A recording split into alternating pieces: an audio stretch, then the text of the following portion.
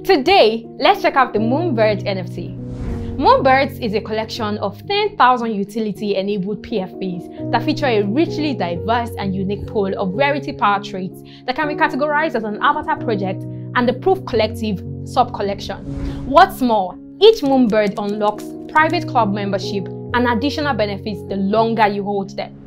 This collection of 10,000 PFPs, I mean profile pics, has racked up to roughly $291 million in total sales, boasting a floor price of 26.8 Ether, roughly $64,000 at the time of recording. Its market cap has gradually risen to about $545 million. There are 2,000 moonbirds reserved for collective holders and about 8,000 reserved for the allow list, which can be purchased both on OpenSea and LooksRare.